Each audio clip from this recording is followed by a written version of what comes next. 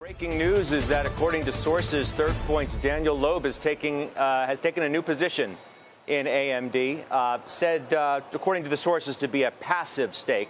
And that's very important to note, obviously, uh, because Mr. Loeb is known uh, quite substantially as an activist investor. But this one is said to be a passive. It's a newish stake, uh, the way that I understand it to be. What's interesting as it relates here is that, you know, they used to be in Intel, which they're no longer, uh, by the way.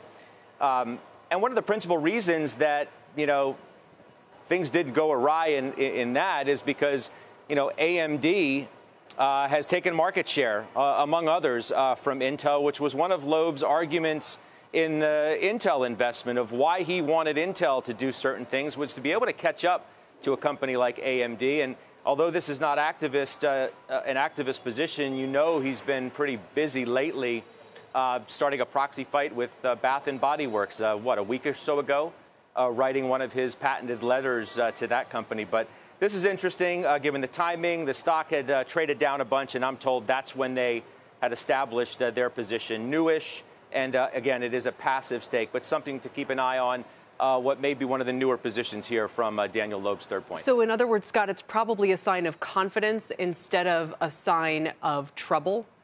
Sure. Uh, yeah, I don't think they're trying to, you know, shake the trees over there and, and get uh, AMD to do anything. Uh, not certainly in the in the likes of maybe what they wanted to do as it pertains to Intel or some of the other uh, activist positions they have. They they obviously uh, must like the job that uh, Dr. Lisa Su uh, is doing as, as the CEO. And, uh, you know, look, Loeb, Loeb's a pretty active guy just in general, the way that they, they trade in and out of stuff occasionally. But this is uh, just interesting to follow because it is one of the newer ones. Certainly. Scot, thank you so much for bringing that to us.